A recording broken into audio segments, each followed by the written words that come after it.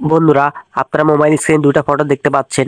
একটা হচ্ছে অরিজিনাল আর আরেকটা হচ্ছে ব্ল্যাক টুন আজকে আমি আপনাদেরকে দেখাবো লাইট টুন দিয়ে কীভাবে এরকম ব্ল্যাক টুন ফটো এডিটিং করতে হয়।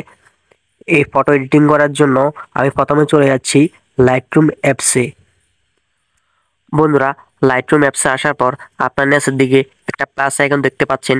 এটাতে একটা ক্লিক করবেন। এখান থেকে যে ফটোটা এডিটিং করতে চান, ওই ফটোটা ইনপুট করবেন। তো আমি এটাকে ক্রস করে দেখছি।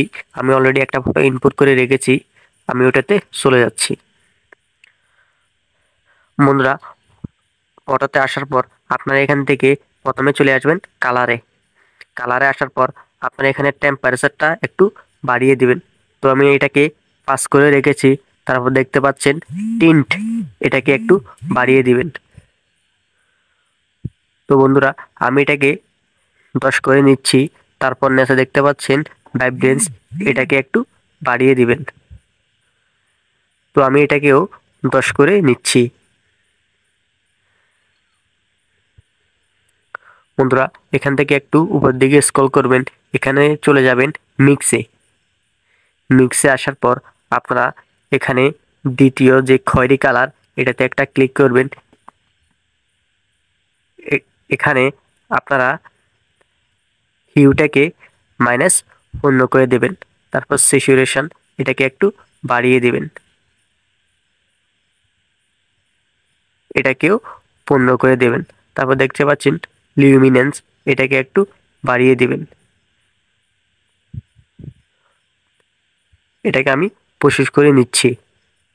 তারপর দেখতে পাচ্ছেন হলুদ কালার, এটাতে চলে আসবেন।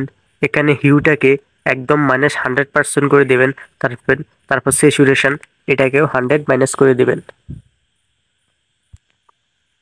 তারপর দেখতে পাচ্ছেন ন্যাসের লিউমিনেন্স এটাকে একটু কমিয়ে দেবেন। তো আমি এটাকে প্রসেস করে নিচ্ছি।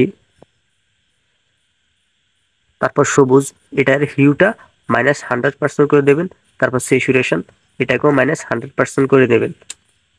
এরপরেরটা আকাশি কালার এটাও হিউ মাইনাস হান্ড্রেড পার্সেন্ট করে দেবেন এবং কি সেচুরেশনও মাইনাস হান্ড্রেড পার্সেন্ট করে দেবেন। বন্ধুরা, এবার আপনারা ডানে একটা ক্লিক করবেন। ডানে ক্লিক করার পর আপনারা নিচে দেখতে পাচ্ছেন কালারের পাশেই ইফেক্টস এটাতে একটা ক্লিক করবেন। এখানে দ্বিতীয় নাম্বার দেখতে পাচ্ছেন ক্লিয়ারিটি এটাকে একটু বাড়িয়ে দিবেন।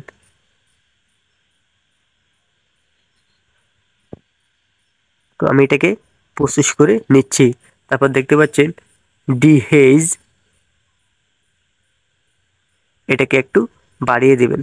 তো আমি এটাকে পাঁচচল্লিশ করে দিচ্ছি। তারপর দেখতে পাচ্ছেন বিগ নেট এটাকে একটু কমিয়ে দিবেন।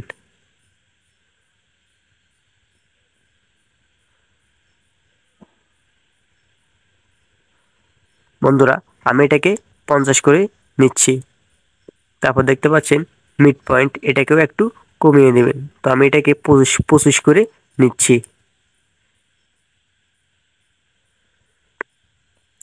বন্ধুরা, তারপর দেখতে পাচ্ছেন ফেদার এটাকে একটু বাড়িয়ে দেবেন।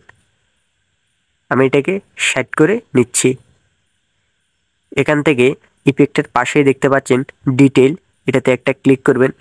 প্রথমে দেখতে পাচ্ছেন শার্পিং এটাকে একটু বাড়িয়ে দিবেন। তো আমি এটাকে পনেরো করে নিচ্ছি।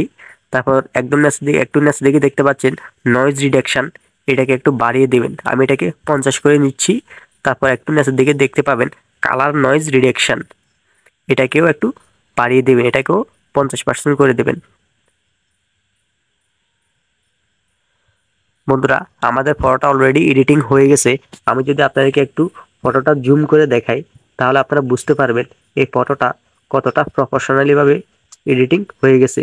এটা হচ্ছে বিপোর এটা হচ্ছে আফটার আপনারা দেখতে পাচ্ছেন আগে এবং পরে কতটা প্রফেশনালিভাবে এডিটিং হয়ে গেছে।